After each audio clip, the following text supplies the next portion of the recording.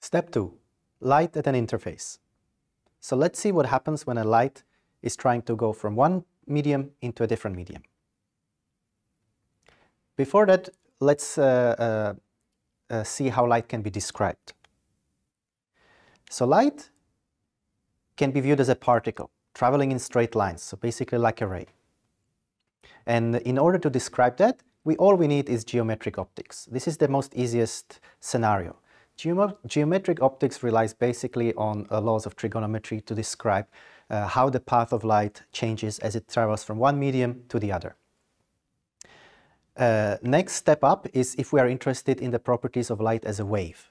And we've seen uh, this with the double slit experiment, that light can, light can behave as a wave, either when it's a, a laser light, coherent light, or in the form of single photons. And in order to describe laser light, particularly when it's traveling down uh, very narrow uh, fibers, we need Maxwell's equations and the full theory of electromagnetism.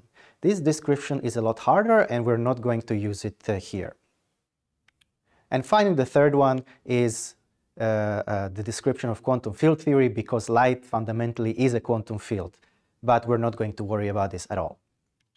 We're only going to uh, use geometric optics, so the most simple description, because mainly we will consider the diameter of the fiber to be much larger than the wavelength of the light. So here D is the diameter of the fiber and lambda is the wavelength of light.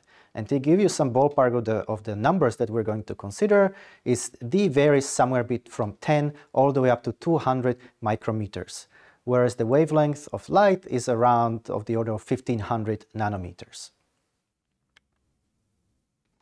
So let's see what happens when the light arrives uh, at an interface of two media. We're going to consider one medium, usually the air, and then some denser medium. Let's call it, let's say that it's glass. And the light ray is going to arrive at some angle, and this angle will always be measured with respect to the normal to the surface. So we're not going to talk about the angle of incidence as this light, uh, sorry, as that angle, but the angle between the light ray and then this uh, orthogonal normal line to the surface. So this is the angle of incidence, and we're going to uh, call it, denote it theta i. What can happen is that the light can actually reflect off the surface, as this, at some angle, which we're going to call uh, theta capital R, the angle of reflection. And also, some portion of the light will get refracted. So it will travel into the medium at some angle, theta small r, the angle of refraction. Notice that all of these angles are defined with respect to this dotted line, which is the normal to the surface. That's very important. And often some portion of the light is reflected, some portion of the light is uh, refracted and actually gets transmitted into the other medium. In this case, we're, we're saying that, for example, 90% of the light is uh, refracted and enters the glass, whereas 10% gets reflected back. But we're not going to be too interested in the relationship of how much gets reflected and how much gets refracted. We are more interested in the angles of reflection and angles of refraction. So, what, are, what is the angle of reflection? Well, that's very simple.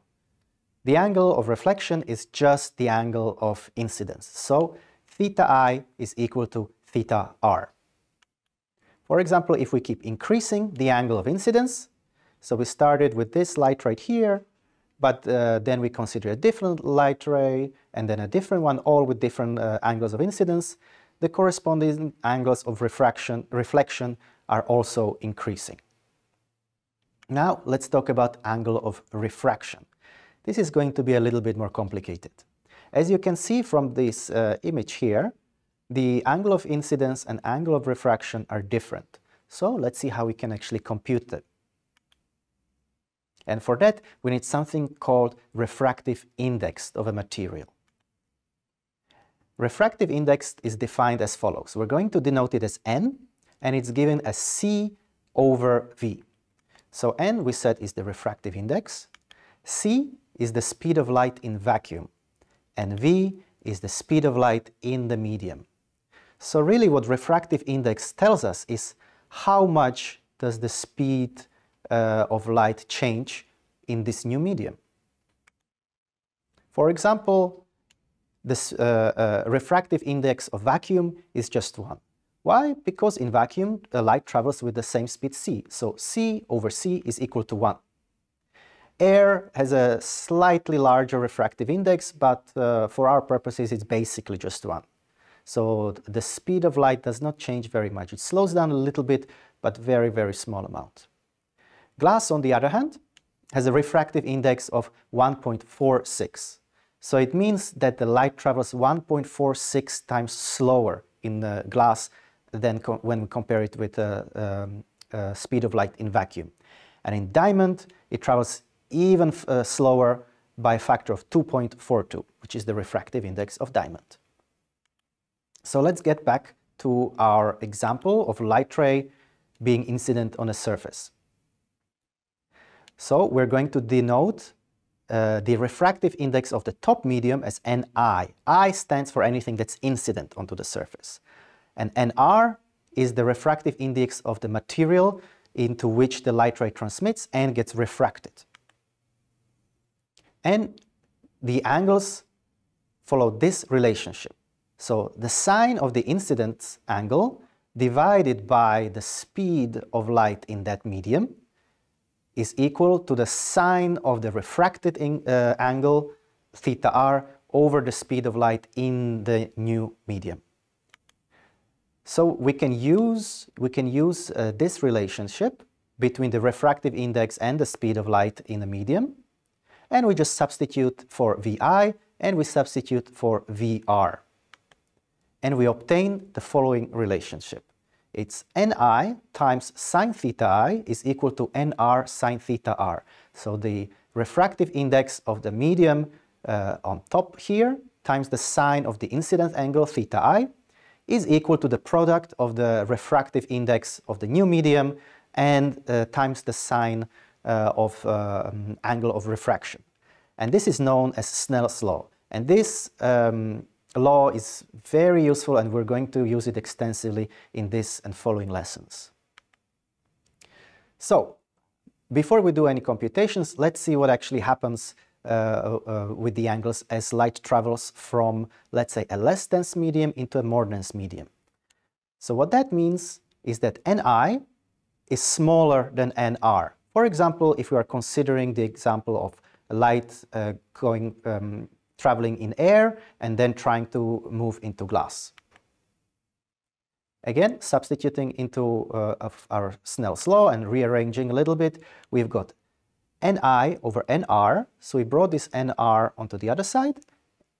And then we also divided by sine theta i. So we've got that the fraction of Ni over Nr has to be equal to sine theta r over sine theta i.